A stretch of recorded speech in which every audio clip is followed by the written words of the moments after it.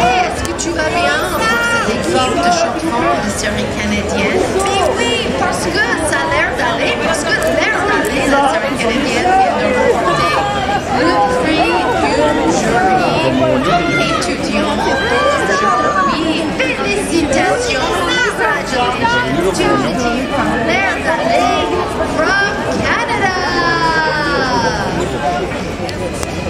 Let's see those friendly Canadians.